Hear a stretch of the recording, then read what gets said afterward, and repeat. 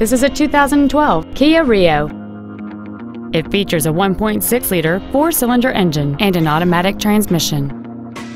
All of the following features are included. Satellite radio, a low tire pressure indicator, traction control and stability control systems, an anti-lock braking system, a passenger side airbag, a second row folding seat, rear seat child-proof door locks, cruise control, heated side view mirrors, and this vehicle has fewer than 23,000 miles on the odometer. This Kia has had only one owner, and it qualifies for the Carfax buyback guarantee. Stop by today and test drive this vehicle for yourself.